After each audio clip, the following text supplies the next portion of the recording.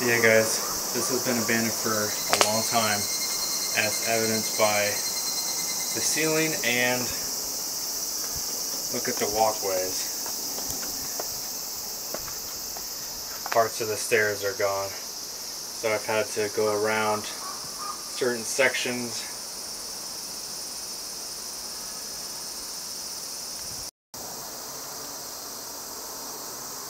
Well, before you even get inside this abandoned strip club, it's a very, very long walkway to get down to the street. And the steps and everything else are falling apart. So it's a little bit of a interesting experience just getting up here. But anyway, let me show you what this looks like inside. Alright, so first thing I noticed is there's a lot of these I don't know what to call them, but streamers or something, decorations. A lot of them left on the roof. And then we're back to the retro chairs, except this time they're orange instead of blue. If you watched my uh, abandoned retro bar hotel, you would uh, you could recognize these old school chairs. But I believe the main main stage or whatever is through these doors. So let's go inside. Oh man. This is really cool looking. All right, let me bump my light up a little bit.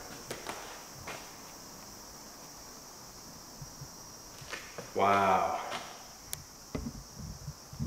Like I said, guys, it is kind of a weird experience being here, but look how many seats there are. Oh my gosh.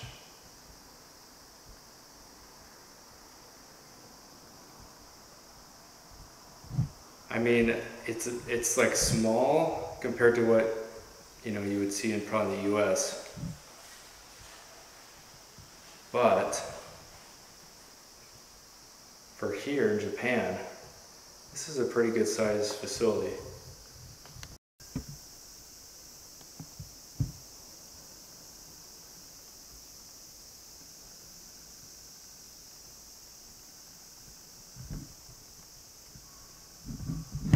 Alright guys, so let's go to kind of the other side and see what's going on near the stage area.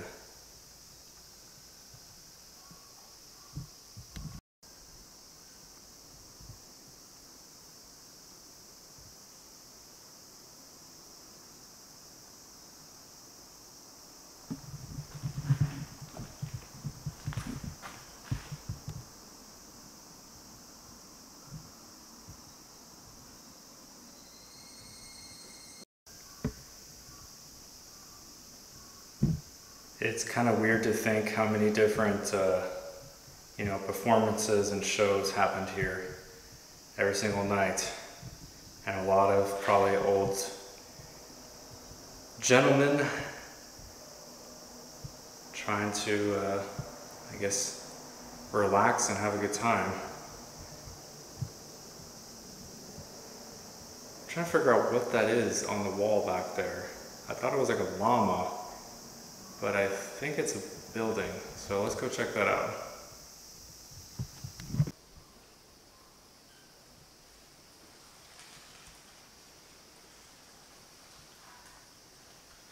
So as you can tell up there, there were a bunch of lights, so they'd be obviously shining down. Right. Of course, on the person dancing around.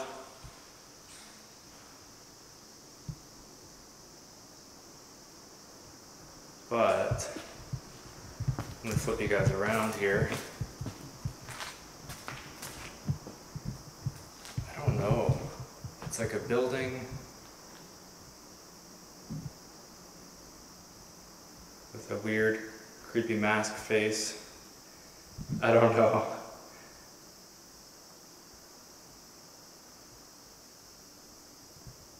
I'm not sure what, I mean it's a building obviously, but I don't know what the other part is.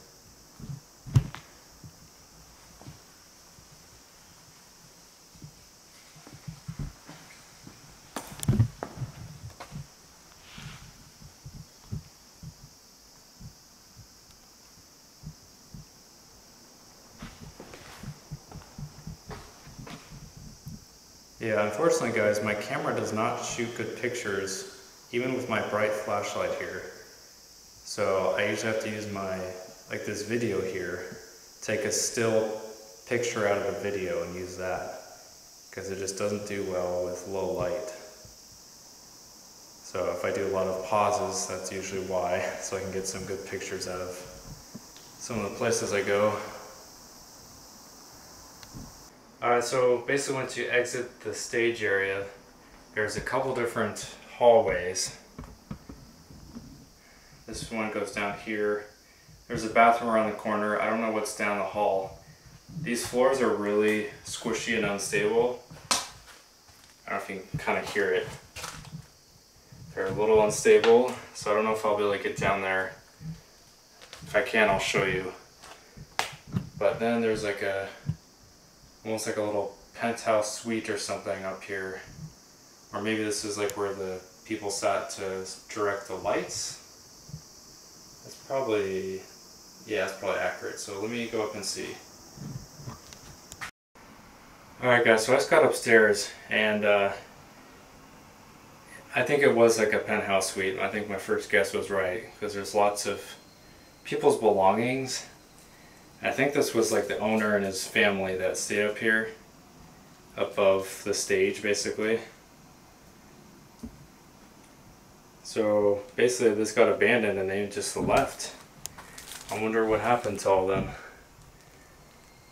But they got all their random stuff here. Perfumes and other random assortment of things. There's some uh, pictures and a safe also. Like, probably where they kept the money from, you know, every single night that this place was open.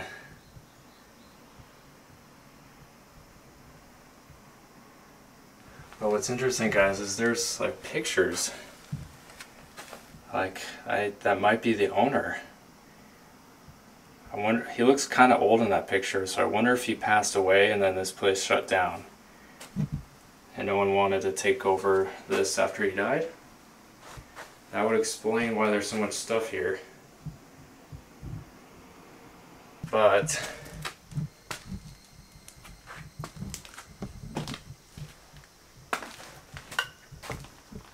yeah, this is like kind of like the control center the lights, I think. I think that's the switchboard.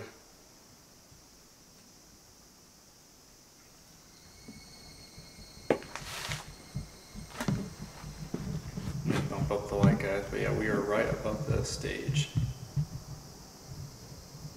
Sorry my light doesn't produce much light from this far away, but I always wondered how people got an overhead shot of this place, and now I know why.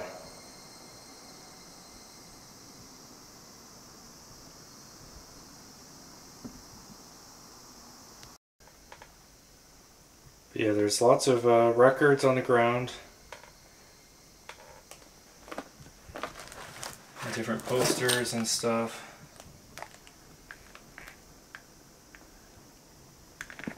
I figured there'd probably be at least one picture or poster of a half topless girl just because of the venue we're in.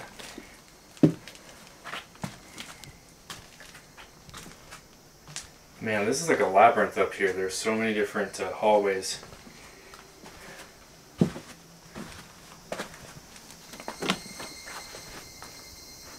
Oh my gosh, look, it keeps going. all the way down there. Oh, I guess this was the shower. Shower, yeah.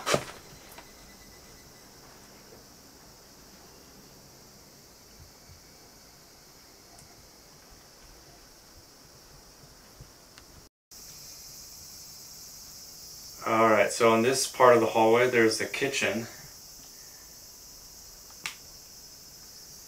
As you can see, the floors are pretty bad, so I'm not going to walk in there. But lots of random stuff left behind.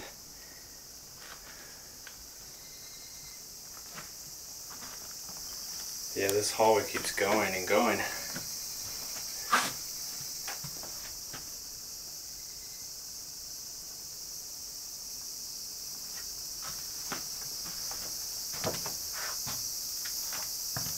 Looks like there's many bedrooms down here, so maybe this guy had a big family.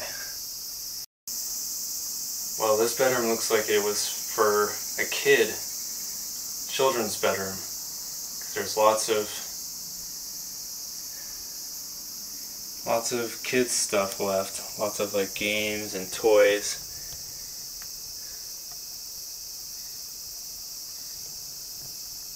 Different like cards and stuff.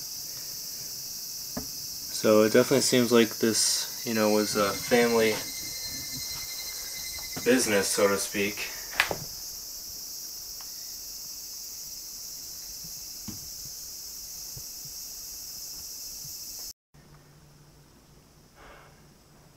Well, this is interesting. There's, this looks like a second kitchen. So these, this family had two kitchens. Maybe they had that many people staying in this upper part. Who knows, it could have been like mom and dad, kids, uncle or aunt or grandma or grandpa or something. Because I don't know why you need two kitchens. But literally everything is left here. All, all the bowls and silverware, plates.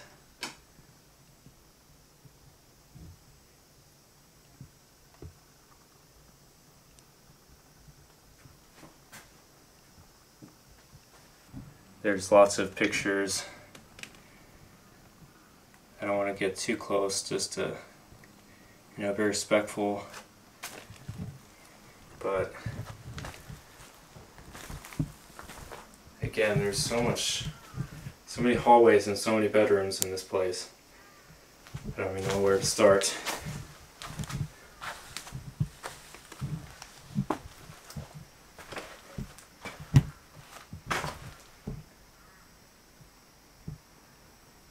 Makeup and every accessory you could think of. This hallway keeps going all the way down.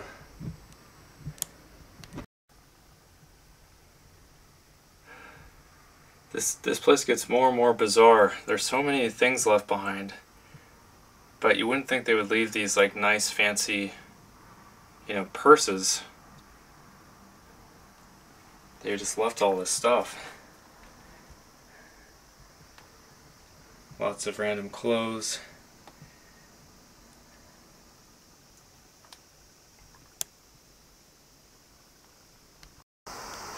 What's up guys? um, so I'm just I'm dumbfounded on how many bedrooms and how many hallways this place has. I turned another hallway downstairs and there's this other bedroom here and it has some figurines left.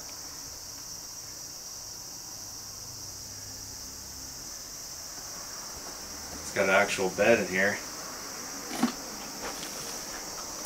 So who knows how many people stayed here, but it seems like a lot. Unless this, unless some of these, ah, here's another question guys. Did some of the performers stay here? Maybe that's part of it, I don't know. Guys, I almost left until I turned another corner through the bedroom I was just in. There's a second stage here. They had two different stages. Oh my gosh, I almost missed this. I don't even know where or how you can get into this stage, but I came through a bedroom to get here. Doesn't make any sense, but holy crap, this is a second stage. So they could have had several performances happen, you know, simultaneously. Man, I'm glad I randomly saw this. This one has like a interesting background here. It's like an eagle.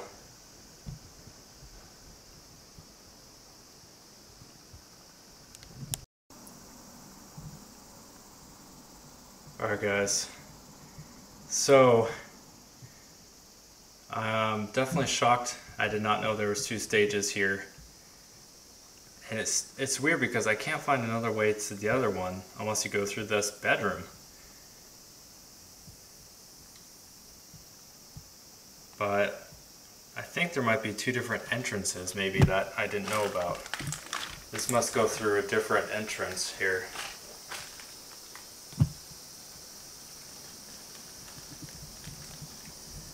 but I found a lot of of these like pictures. Here, let me here see this. Look, there's like hundreds of these like oh, they're matchbooks. Dude, look how many there are. Holy crap. There's thousands of these matchbooks with matches in them.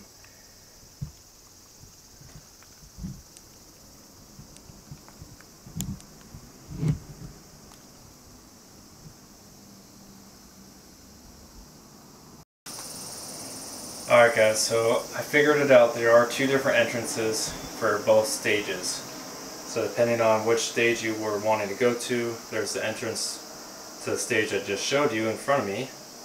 And if we swing around, that's Coke fridge by the way. But if we swing around here, straight in front of me, that's the first stage I showed you. So there's two different entrances. That's why. I was so confused. Okay, so this place is a lot bigger than it looks.